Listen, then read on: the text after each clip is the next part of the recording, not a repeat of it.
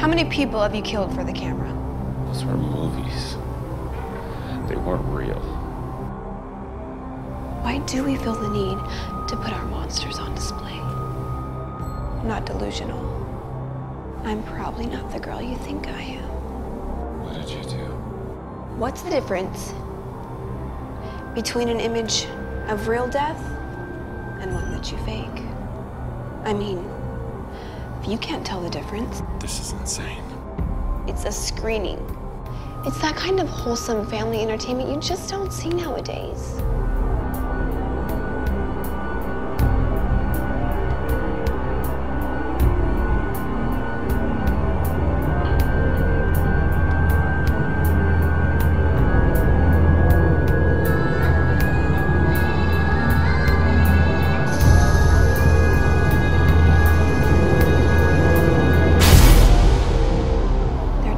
inches, Nick. Jesus Christ.